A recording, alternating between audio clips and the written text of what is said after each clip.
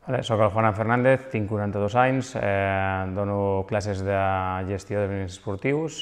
eh, dintre del programa de recreació, oci i turisme,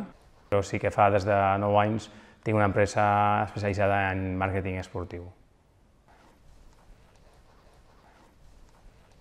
L'objectiu de, de l'assignatura és que els alumnes, com ja estan acabant, perquè és el quart curs, eh, puguin, sobretot, eh, poder dur a terme un esdeveniment esportiu de, amb la seva fase integral, és a dir, des de la idea d'un projecte que genera idees, des de poder tindre idees fins a la gestió del, del pressupost, l'execució del projecte i una memòria final del projecte, és a dir, que sigui una gestió integral. I toquem sobretot tot tipus d'esdeveniments, de, perquè al final eh, jo estic més especialitzat en running i triatló, però aquest any hem parlat des de projectes, des d'un eh, un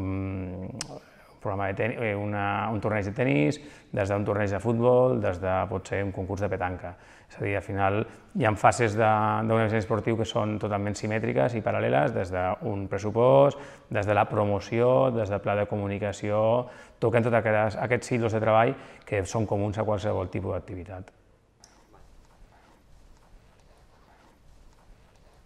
Sí, la, de fet la idea és que és quan surtin aquesta aplicació i tots els models o estàndards que treballem, procediments de treball que treballem, eh, es puguin portar a dur a terme, perquè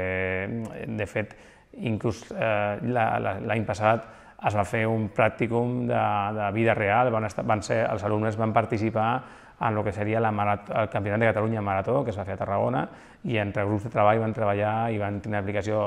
real, vull dir, no només, el, només a classe, sinó que van sortir a carrer i a, a campo, que es diu, van treballar amb una implicació que pel seu currículum crec que és important, un estudiant de quart curs, han tingut ja, tots els alumnes han tingut una implicació bé teòrica, bé pràctica, amb el que és un campionat de Catalunya en marató, que, que és una prova important.